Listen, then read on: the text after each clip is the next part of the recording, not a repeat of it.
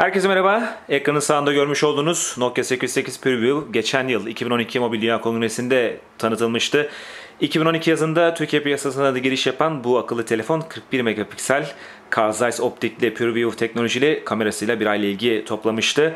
Ancak bu telefon Symbian işletim sistemiyle geliyordu ve doğrusunu söylemek gerekirse fazla ilgi görmedi. Beklenen satış rakamlarına ulaşmadı. Aslında bu telefon bir e, deneysel çalışma niteliğindeydi. O şekilde bir tanımlama yapılabilir. Çünkü esas olarak e, teknolojisinin Nokia Lumia serisine gelmesi bekleniyordu ve bu beklenti de 2013 yazında gerçekleşti.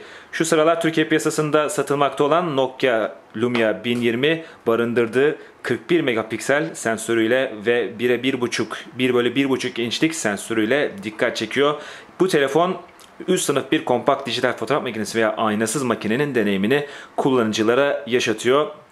41 megapiksel sensörü sayesinde Nokia Lumia 1020 yüksek çözünürlükte fotoğraflar çekebiliyor. Aynı zamanda bu çekilen fotoğraflarda kayıpsız zoom 6x kadar kayıpsız zoom yapmak ve böylelikle normalde pek de verimli olmayan dijital zoom'dan e, iyi şekilde verim elde etmek yine kaliteli görüntüler elde etme imkanı sunuyor. Nokia Lumia 1020'de Windows Phone 8 işletim sistemi var.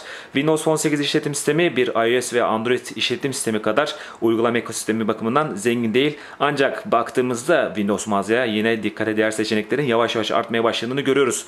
Nokia Lumia 1020 ile çektiğiniz fotoğrafları Instagram'da paylaşmak isteyeceksenizdir. Şu anda bir e, resmi Instagram uygulaması yok. Birinci el bir Instagram uygulaması yok. Ancak bu noktada Sixtech uygulaması fazlasıyla iş görüyor. Doğrusunu söylemek gerekirse Lumia 1020'nin zaten kamerası oldukça etkileyici ki Sixtech'te paylaşacağınız fotoğraflara herhangi bir filtre eklemeye ihtiyaç duymayacaksınız diye düşünüyoruz. Tabii ki geçen hafta Nokia World etkinliğinde duyurulmuştu. Instagram'da çok yakında Windows Phone platformuna gelecek. Böylelikle de Lumia 1020 ile çekilen fotoğraflar çok daha etkileyici şekilde birinci el uygulamadan paylaşılmış olacak. Devam edelim. Görmüş olduğunuz gibi Nokia Lumia 1020 tasarım açısından Nokia Lumia 920'ye fazlasıyla benziyor. Ufak tefek farklar dışında bu iki telefonun aynı olduğunu söyleyebiliriz.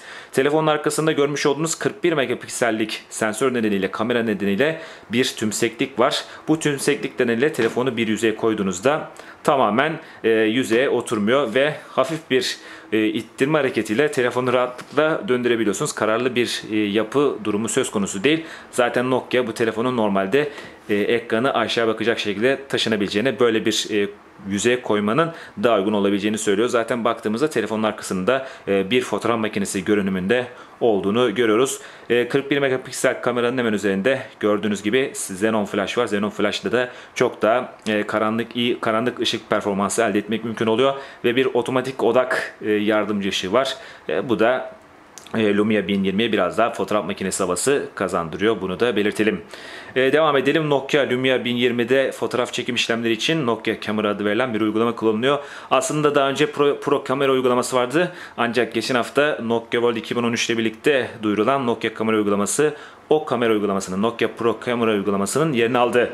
Nokia Kamera uygulamasında ne var? Ee, daha önce ProCam ve SmartCam uygulamalarında sunulan özellikler tek bir uygulama çatısı altında toplandı. Ee, yine kullanıcılara e, Nokia Lumia 1020 kullanıcılarına hem otomatik ayarları, tüm ayarları otomatik olarak tutarak e, çekim yapma imkanı sunuyor. Hem de bunun yanı sıra e, beyazlık, beyaz dengesi, odak uzaklığı, bunun dışında yine ISO değeri veya pozlama telafisi gibi işlerde elle ayarları kullanarak çok daha etkileyici, çok daha istenen sonuçları elde etme olanak sağlıyor Nokia kamera uygulaması. Özellikle e, bir de şu özelliği var Nokia kamera uygulamasının. Siz yaptığınız değişikliklerin geri beslemesini anında ekranda görüyorsunuz ve böylelikle de daha siz deklanşör tuşuna basmadan da nelerle karşılaşacağınızı, nasıl bir fotoğraf çekeceğini görme fırsatını elde ediyorsunuz. Nokia Lumia 1020'nin kamera uygulaması çekilen fotoğraflarda çekim sonrasında da zoom yapma olanağı sağlıyor. Çektiğiniz bu fotoğrafları zoomlanmış fotoğrafları yeniden karelendirebilir. E, isterseniz 16'ya 9 veya 4'e 3 e, kılavuz oranına ayarlayarak yeni fotoğraflar kaydedebilirsiniz. Nokia Lumia 1020 hem fotoğrafın 5 megapiksel çözünürlüklü düşük versiyonunu hem de 34 veya 38 megapiksellik tam çözünürlüklü versiyonunu kaydetmenize olanak sağlıyor. İki versiyonda telefon hafızasına aynı anda kaydediliyor ve daha sonra siz e, paylaşım işlemleri için düşük çözünürlüklü versiyonu diğer işler için ise büyük çözünürlüklü, yüksek çözünürlüklü versiyonu kullanıyorsunuz. Yüksek çözünürlüklü versiyona da bilgisayardan USB bağlantısıyla bilgisayara bağlayarak erişebiliyorsunuz. Nokia Lumia 1020 için çeşitli aksesuarlar da geliştirdi. Onlardan bir tanesi görmüş olduğunuz kamera grip. Ee, bir kabza bu ve bu kamera grip aksesuarı sayesinde de Nokia Lumia 1020'yi bir dijital fotoğraf makinesine dönüştürüp o havaya yakalayarak, dijital fotoğraf makinesi havasını yakalayarak fotoğraflar çekmeniz mümkün oluyor. Nokia Lumia 1020'ye özel bu aksesuar doğrusunu söylemek gerekirse telefonun hacmini biraz büyütüyor. Ağırlığını da biraz arttırıyor ancak bunun karşılığında size bir deklanşör tuşu, bir kamera gibi fotoğraf makinesi gibi kullanma olanağı sağlıyor.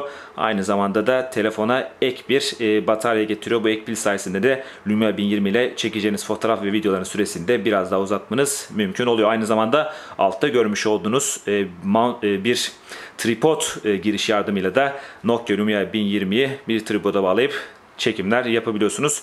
Gördüğünüz gibi kullanımda oldukça rahat. Elimi kabzaya rahatlıkla e, kavrayıp kabzayı kavrayıp rahatlıkla çekim yapabiliyorum. Nokia Lumia 1020'de optik e, görüntü sabitleme tekniği de var. E, lens e, telefonun hareketine göre oynuyor ve bu sayede çok daha dengeli çekimler yapmaya olanak sağlıyor. Bu hem daha düzgün bulanın az olduğu fotoğraflar çekmeye hem de videoların çok daha düzenli durağan olmasına olanak sağlıyor. Nokia Lumia 1020'nin özellikleri bu şekilde. Nokia Lumia 1020 ile ilgili aktaracaklarımız bu kadar.